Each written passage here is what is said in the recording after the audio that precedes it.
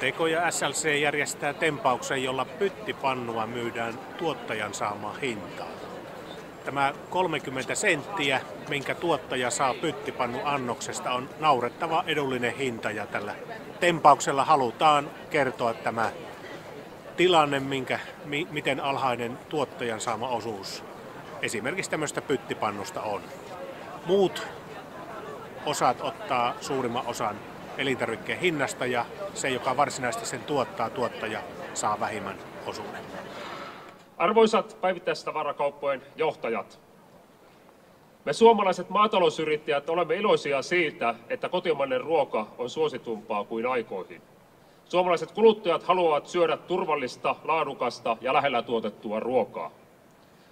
Suomalaisessa maataloudessa on eletty viime kuukausina vaikeimpia aikoja vuosikymmeniin. Meitä tuottajia huolestuttaa eniten se, miten hiljattain tuotantonsa investoineet kotimaiseen ruoantuotantoon vakavasti uskovat tuottajat selvivät tänä vuonna henkisesti ja taloudellisesti.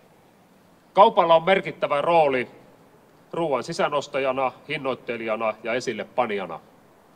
Ei ole olemassa kasvattavia markkinavoimia, on ihmisiä, jotka tekevät päätöksiä. Siksi vaadimme, että kauppaketjunne suosii kotimaista ja paikallista ruokaa aina kun se on mahdollista. Tuo ruoan alkuperämaan selkeästi esille tuotepakkausten lisäksi myös kauppojen hyllymerkinnöissä. Valikoi kaupan hyllyille myös pienempien ja paikallisten toimijoiden lähiruokaa sekä luomoa. Ilmoittaa julkisesti oman ja teollisuuden sekä logistiikan osuudet ruoan kuluttajahinnoista, koska kuluttajilla on oikeus tietää tämä rahoittaa ruoan hinnanalennukset omaa toimintaa tehostamalla eikä tuottajan selkänahasta. Me suomalaiset ruoantuottajat olemme valmiita yhteistyöhön kanssanne niin näissä kuin muissakin asioissa.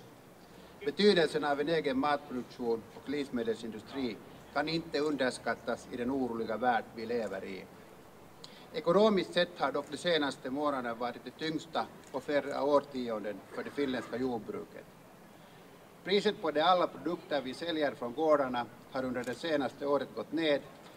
Lösningen på den ekonomiskt svåra situationen för jordbruksprodukterna måste finnas i marknaden.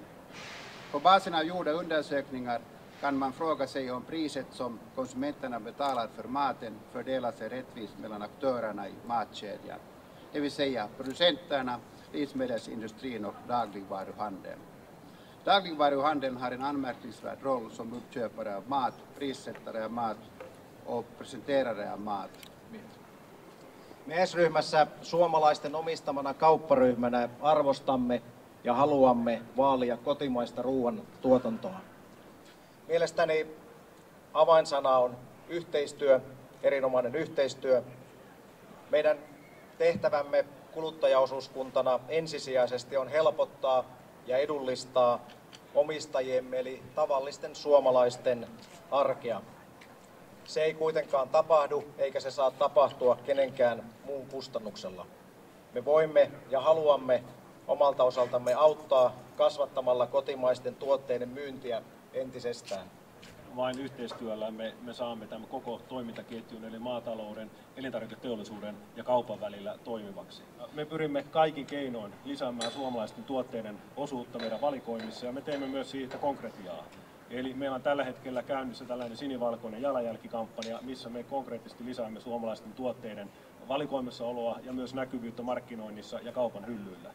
Sen lisäksi meillä on tällaiset lähiruokatreffit, jossa me tapaamme satoja pientuottajia ja yhdistetään, että he tapaavat meidän K-ruokakauppiaita ja siten otetaan paikallisia tuotteita kauppojen valikoimiin. Meidän pitää aidosti olla huolissaan meidän suomalaista elintarviketeollisuudesta ja, ja, ja ma- maataloudesta ja ihan huoltovarmuudestakin. Jos ei suomalainen päivittäistavarakauppa pärjää, niin silloin tässä on meillä aito huoli.